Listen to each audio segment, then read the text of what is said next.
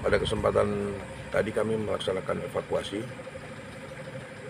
Korban yang meninggal itu sebanyak empat orang, di antaranya dua hangus terbakar dan kemudian empat mengalami luka sayat, banyak luka sayat berupa luka sayat taj- senjata tajam.